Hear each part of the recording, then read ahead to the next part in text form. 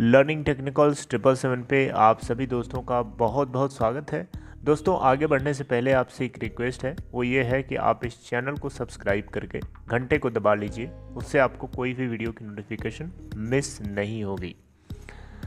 बात करें अगर हम पबजी की तो पबजी गेम को आप सब लोगों को पता है ऑलरेडी कि बैन कर दिया गया है। ऐसे लोग, जो लोग रो रहे हैं आज पबजी गेम को खेलने के लिए उनको खुश करने के लिए मैं आज इस वीडियो में एक चीज़ बताऊँगा, जिससे आपको काफ़ी ज़्यादा खुशी होने वाली है। ठीक है? पबजी गेम को आपको बताना चाहूँगा कि अक्टूबर के लास्ट दिन में, लास्ट के दो दिन, यानी 30 और 31 अक्टूबर के किसी दिन में जो है पबजी को पूरी तरीके से बैन किया जाना था, पूरी तरीके से बैन, यानी जिसके पास पहले से पबजी गेम पड़ी है, वो खेल पा रहा था अपने फ़ोन में आराम से। ठीक है? जो लेकिन जो नए लोग थे, वो प्ले स्टोर से डाउनलोड नहीं कर पा रहे थे, क्योंकि पबजी को पहले से ही प्ले स्टोर से हटाया गया था। लेकिन पबजी को पूरी तरीके से इंडिया के अंदर ब्लॉक नहीं किया गया था। वो ब्लॉकिंग थर्टी फ़र्स्ट अक्टूबर के आसपास या थर्टीथ अक्टूबर के आसपास हुई है। ठीक है? अब हमेशा के लिए पबजी को बैन कर दिया गया है इस समय। पबजी आप नहीं खेल पा रहे हो अपने मोबाइल पे।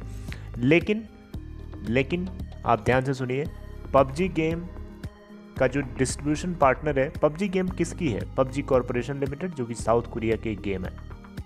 ठीक है? तो इसका जो डिस्ट्रीब्यूशन पार्टनर था, वो टेंशन था, जो कि चाइना का था।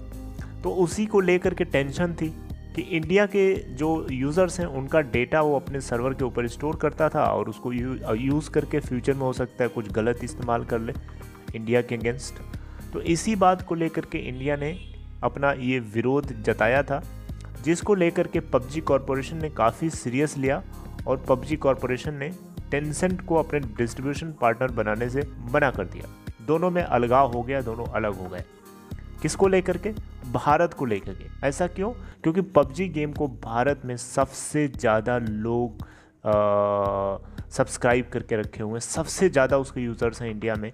बहुत बल्क लेवल पे खेली जाती है। तो किसी भी तरीके से पबजी कॉरपोरेशन नहीं चाहेगा कि इंडिया के यूज़र्स उसको मिस करें। ठीक है? तो यहाँ पे पबजी कॉरपोरेशन जो है, इंडिया के अपने, इंडिया, इंडियन कुछ कंपनी जैसे कि पेटीएम हो गया या फिर एयरटेल हो गई, इनसे क्लोजली बात करने में लगा हुआ है, सेटअप करने में लगा है, ताकि ये अपना सर्वर सेट कर रहे हैं यहाँ पे इंडिया के अंदर, ताकि पबजी गेम को इंस्टॉल किया जा सके। पबजी गेम बहुत जल्दी ही आपको मिलने वाली है। दिवाली के आसपास हो सकता है मिल जाए। आप देख सकते हैं यहाँ पे, PUBG mobile plots return to India following ban good news for PUBG lovers as the game may be relaunched in India very soon ये आपको दीपावली के आसपास मिल सकती है। या दीपावली से अगर दीपावली के आसपास नहीं मिलती है तो हो सकता है दिसंबर वाले मंथ तक मिल जाए। ठीक है? इसके ऊपर बहुत हाई लेवल की क्लोजली बात चल रही है और बहुत सारे इसके लिए प्रिपरेशन चल रही हैं। तो इससे क्या होगा? इंडिया का डेटा सेफ़ रहेगा और किसी तरीके की कोई दिक्कत भी नहीं है।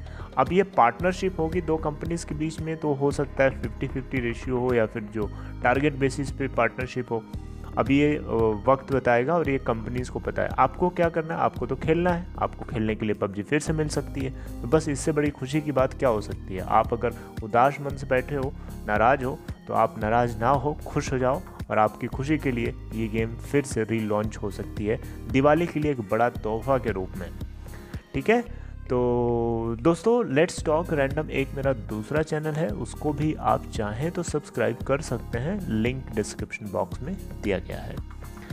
तो बस इतना ही, आज की इस वीडियो में उम्मीद है आप लोगों को ये सब कुछ समझ में आ गया होगा। अच्छा लगा तो दोस्तों में इसे शेयर करिए और वीडियो को लाइक करिए।